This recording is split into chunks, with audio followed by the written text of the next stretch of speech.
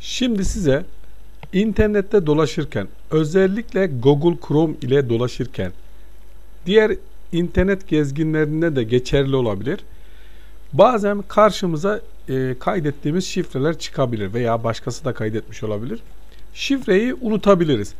Tekrar uyarıyorum en başta. Bu her yerde geçerli değil.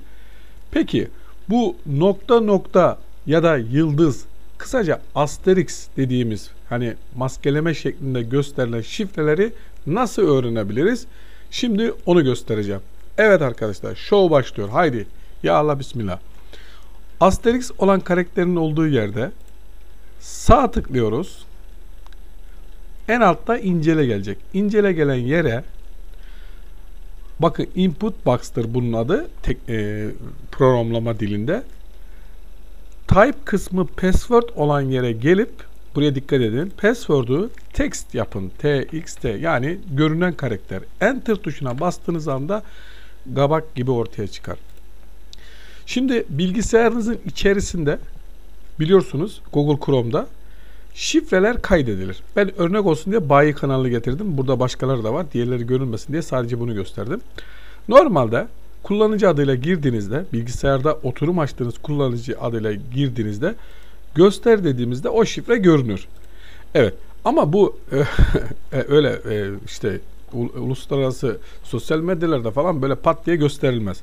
İşte şu bu tuşa bastığımızda text'i e, text type'ı e, ya da password type neyse işte e, password'den text'e geçiriyor. Yani gösteriyor. Diyelim ki bu gösterin olmadığını farz edelim. Yine sağ tıkla incele diyeceğiz.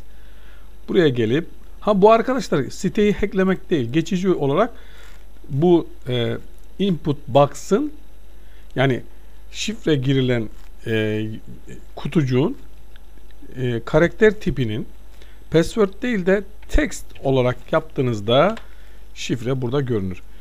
Bunu en çok bunu şifreleyeceğiz tamam o kontrola. Buraya şey yapacağız perdeleyeceğiz. Orayı görmediniz. Şimdi password oraya şey yapacağız. Olmadı ya sıçtık batırdık. Neyse görünmeyecek. Oraya ben şey yapacağım perdeleyeceğim. Ya belki bir işe yaramaz da. Password gösterme. Evet. Özellikle evlerde web kameralar var. Web kameralar. Modemler var veya uzaktan yönetilen aygıtlar var. Buzdolabı, televizyon. Bunlar da web arayüzüyle yönetiliyor. Sizden önceki kullanan arkadaş şifreyi unutabiliyor veya TTNet'e ulaşamıyorsunuz. Bir şekilde yani sorun var. TTNet'in örnek veriyorum. Google Chrome ile TTNet'in e, bize verdiği şifreyi Hatta bunda kablosuz şifreleri bile gösterebilirsiniz arkadaşlar. Yalnız yanlış anlamayın. Kendi bilgisayarınızdan daha önce bir kere girilmiş olması lazım.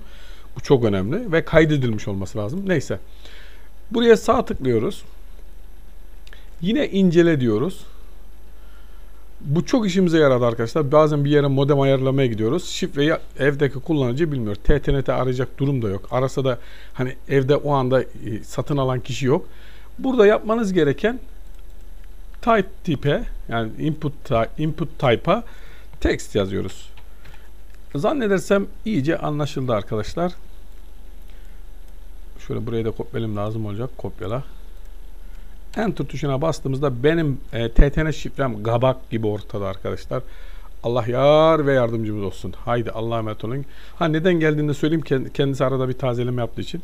Buraya beni buraya resetleyeceğiz arkadaşlar. İnşallah e, JetNet kanalıma abone olun arkadaşlar. Şunu kapatalım inceleyi. E, sizin desteğinizle ilerliyoruz. Daha değişik böyle ya, inanın var ya yani sırada bekleyen çok iş var. Yani inanın e, eğer e, suç olmasa ya da büyük bir skandal olmasa paylaşacağım çok bilgi var. Ama fırsatını buldukça böyle tam yerine rast geldi manzara koyduk tarzında yayınlamaya devam ediyorum. Çünkü inanın bazı şeyler biliyorum. Bazı şeyler e, hani bilgisayarla ilgili veya insanların zaaf, e, zayıf noktalarıyla alakalı paylaşmam çok tehlikeli arkadaşlar. Niye biliyor musunuz? Geçen e, e, rüzgarlı havalarda kapılar otomatik kapanıyor. Yani, e, yani bir kişi dışarıya çöp bırakmaya giderken kapısı üzerine kapanıyor. İçeride de kimse yok. Hatta ocakta yemek yanıyor. Şimdi o kişiye kapısı açması için bir video yaptık. Yani ince bir şey bulup yukarıdan cık cık cık salladığında kapı açılıyor. Bu bir hackerlık tarzı bir şey değil. Bu insanlara yardımcı olmak için. Adamın telefonu yok. Dağ başında. Çilingir yok. E, kapıyı nasıl açacak? İçeride ocak var, çocuk var, ağlıyor. Yani yorum yaparken biraz insaflı olun, insaflı. Zaten açmak isteyen her türlü açar. Ve açmak isteyenlere de yani hırsızlara da her şey serbest. Açık söyleyeyim yani hiç korkum yok. Sı- hırsızlara her şey serbest. Namuslu olmak suç bu devirde. Abone olun başka bir şey istemiyorum. Biraz da para kazanalım. Allah'a emanet olun.